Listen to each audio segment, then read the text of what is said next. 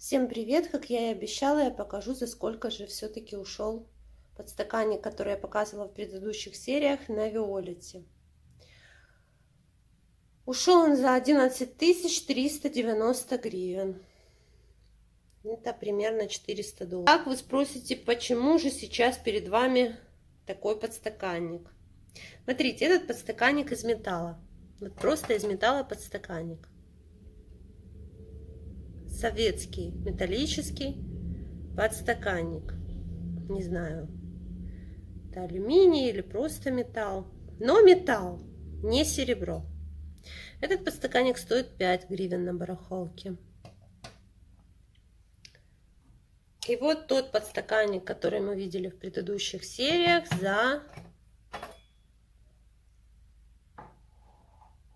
400 долларов. Его я купила за 50 гривен на барахолке. Что мы видим здесь? Красивые звезды, колосья. Но он тоже металлический, понимаете? Он не серебряный. Он металлический. И вот так, благодаря своей внимательности, можно просто сходить прогуляться на барахолку и приобрести замечательную вещь, я не торговалась. Вот мне как сказали, я подошла. У людей на тряпочке были разложены вещи. Среди всего прочего валялся подстаканник. Я взяла в руки, спросила, сколько. Мне сказали 50. Я, недолго думая, не понимая, 50 гривен или долларов, думаю, ну, походу разберусь. Достала 50 гривен, отдала, мне сказали, спасибо. Пакетик дать? Я сказала, нет, не надо. Ну и все, вот так вот оказалось, что все-таки 50 гривен. Красивый подстаканник. Сейчас он уедет своему новому хозяину, который был победителем торгов.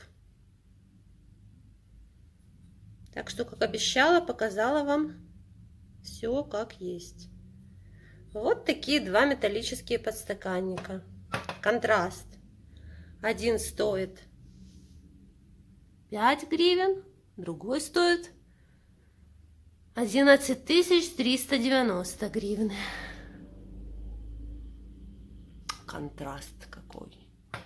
Контраст.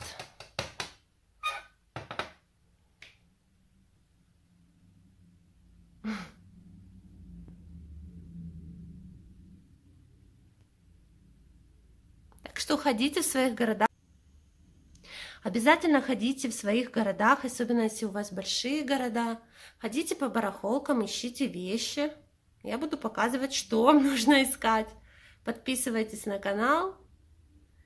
Ставьте колокольчик, чтобы не пропустить видео.